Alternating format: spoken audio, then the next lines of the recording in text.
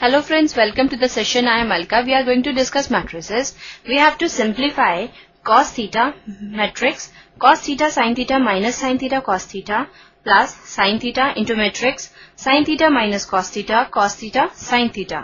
Now let's start with the solution. Now we'll multiply cos theta with the given matrix. This will give us cos square theta cos theta sin theta then co minus cos theta sin theta and cos square theta plus on multiplying sin theta with the given matrix we get sin square theta minus sin theta cos theta sin theta cos theta and sine square theta. This is equal to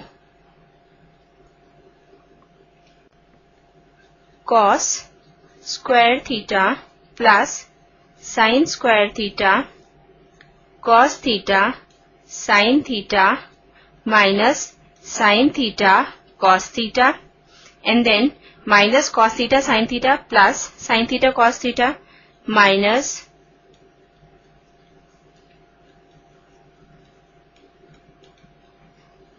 cos square theta plus sin square theta. And we all know that cos square theta plus sin square theta equal to 1. We get 1, 0, 0, 1 matrix. Therefore, 1, 0, 0, 1 is the required answer. Hope you understood the solution and enjoyed the session. Goodbye and take care.